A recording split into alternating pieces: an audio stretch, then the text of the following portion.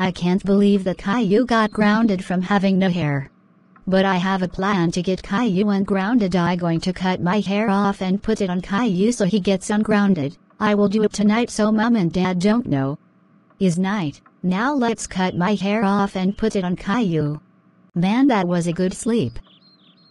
Caillou, how dare you cut Rosie's hair off? That's it. You are grounded for 123,456,789 years.